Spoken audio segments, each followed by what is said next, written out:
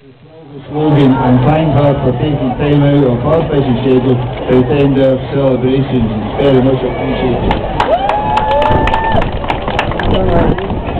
It is a testament to the people of Forth and the Gala Day Committee that uh, this great tradition has continued to grow in stature during some difficult economic hardship. The Gala Day is a historical event and is a day that everyone associated with Forth looks forward to, especially the children.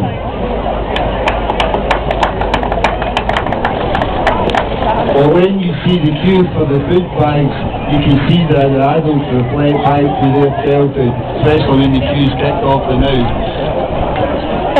The Gala Day is the day that we will all meet old school friends where we can reminisce and have a good old player, some more than others.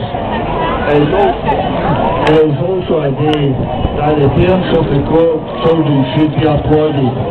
The time and effort they put in ensuring their children are splendidly turned out, as well as the effort put into de- to decorating their respective houses, you will agree that the parents have done their children proud.